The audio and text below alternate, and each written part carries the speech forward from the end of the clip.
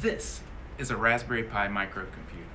Come on in the Maker Vault here at RCBI and let me tell you a little bit about what all the hype is about.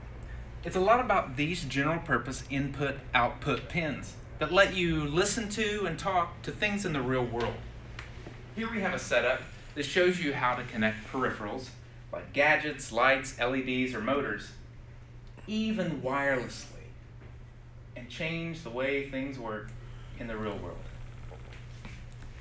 Cool projects like this bring things like coding and Internet of Things within reach to kids from 8 to 80.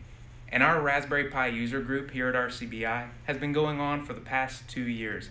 Every second Tuesday of the month at 5:30 p.m., we're showcasing cool projects like ones you might be working on. So come and network with some friends and learn a little bit about these fascinating, affordable microcomputers here at RCBI.